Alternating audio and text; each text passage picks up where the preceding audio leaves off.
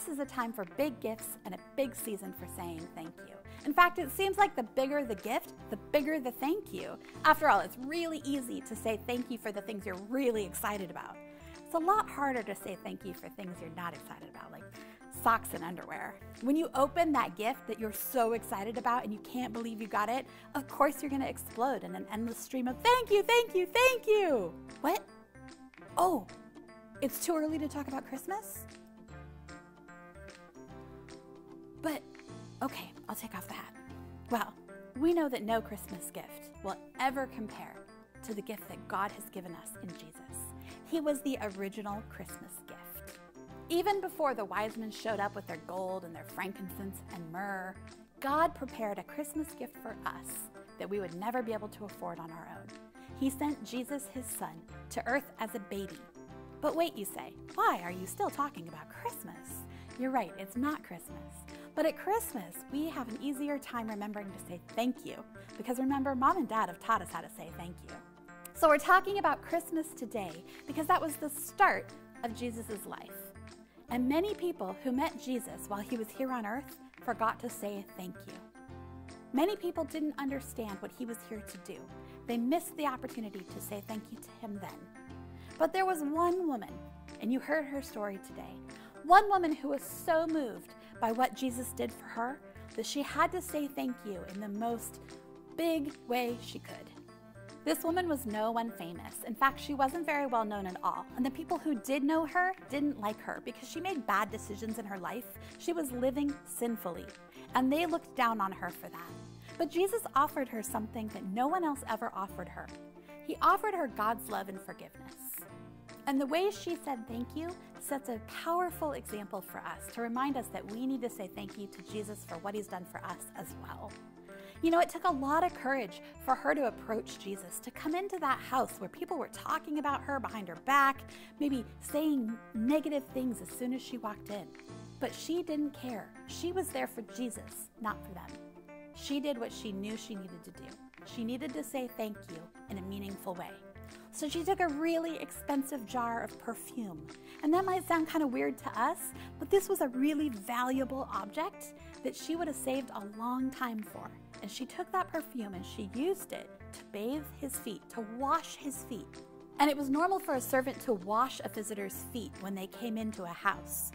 But no one else washed Jesus' feet that day, except for that woman who leaned down to use something very expensive, priceless perfume, and then her own hair to dry his feet.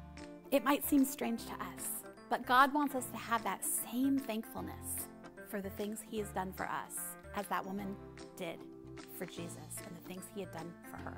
That story that began at Christmas with the baby born in the manger and the life that Jesus lived, never sinning, teaching us how to have a friendship with God, and then when he chose to die on the cross to take the punishment for our sins, even though he never sinned, he took the punishment for our sins.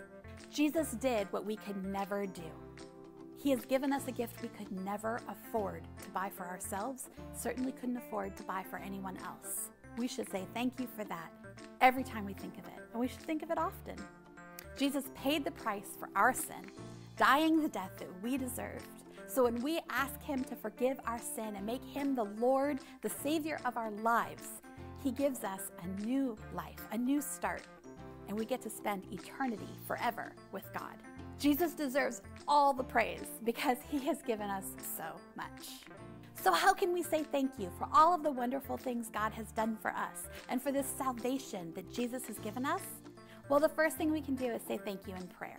When you pray, thank God for what he has done for you. Thank God for Jesus. Talk to Jesus and thank him for laying his life down for you. We can also thank God by singing praise. That's why we sing at church, to thank God for what he has done for us to worship God, to worship Jesus. And we can thank God by sharing the good news.